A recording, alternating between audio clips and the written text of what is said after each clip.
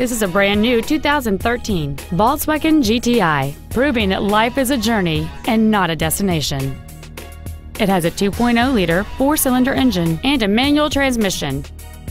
Its top features include heated seats, a turbocharger, aluminum wheels, and traction control and stability control systems.